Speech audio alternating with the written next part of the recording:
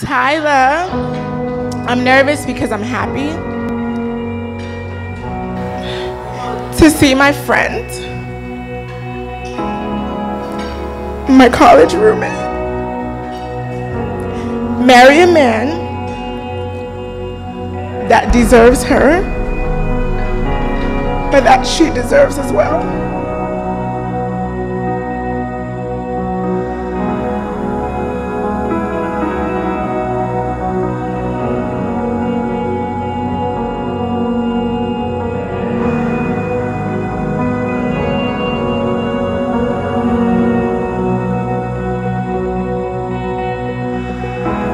When I first met Q, I'm gonna tell you something. I knew he was raised right.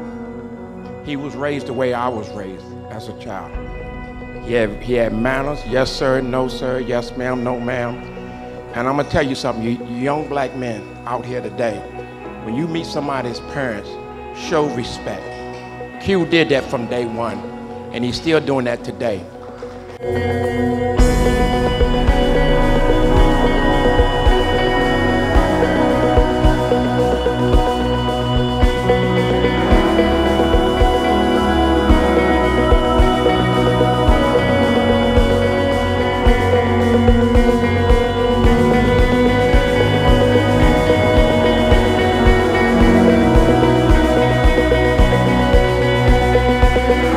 So right after he met Tyla, he got the job that he wanted, and he went off to Georgia.